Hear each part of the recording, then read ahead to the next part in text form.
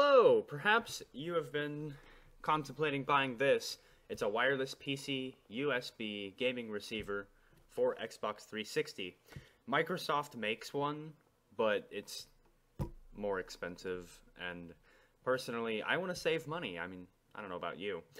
But this one is third party, and it comes with a weird CD. Do they show it? No. Um, it comes with a CD that installs drivers, but as you can see, I'm on Windows 10, and that CD doesn't work. Um, so this is just a short video to show you guys how to install the drivers upon purchasing this product. So, first off, uh, you want to go into your device manager. So we can do that now. Oops. Uh, I just use Cortana, not uh, device manager. There it is. If you don't have Cortana, if you're on a previous version of Windows, like Windows 7 or 8, you can always right click on this PC or my computer, and you can right click on it and click Properties, and then click Device Manager right here. And that'll bring you to the same spot. But I just think it's easier with Cortana personally. Uh, okay, so we're going to go ahead and plug it in now.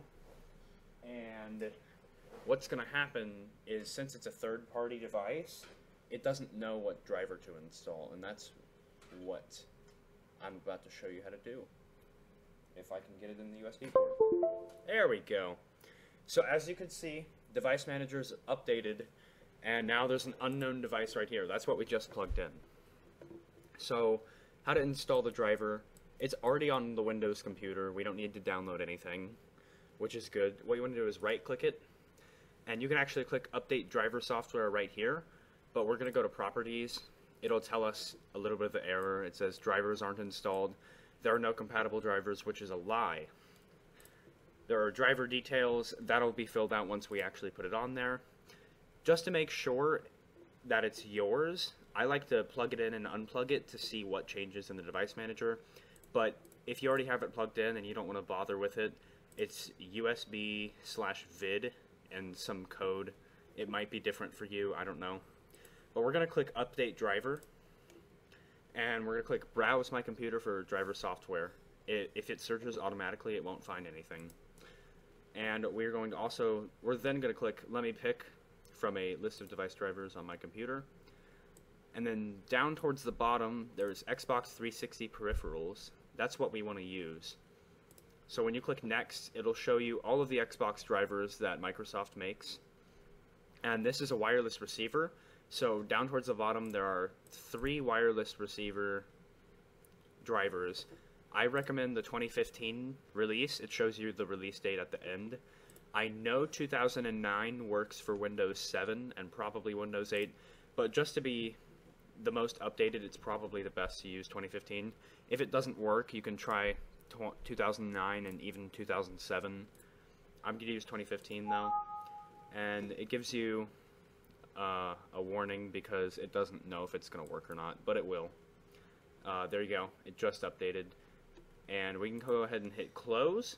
It says the device is working properly, which is good. In the in the properties menu, you can look at the driver details, etc. Now I have my Xbox controller, and we're going to power it on. Uh, if you haven't already connected it, you click the button on the top of the receiver to start that sync, and then you turn on your Xbox controller and hit the sync button, just like how you sync it with a regular Xbox. I already have, and I just turned it on, and the nice thing is it'll actually play that little bump ba da ba when your Xbox controller joins, and if I pull the battery pack out. And there you go. So let's see how it works.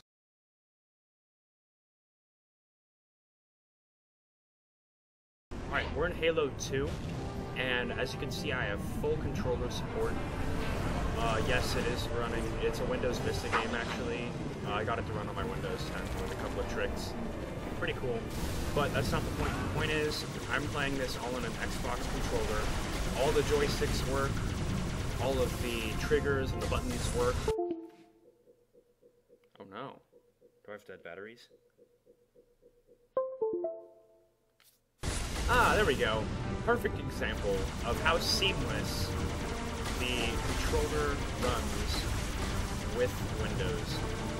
So thank you for watching uh, how to connect your Xbox controller to Windows to a Windows PC with that little adapter from Amazon. And yeah, that's about it. Thanks for watching.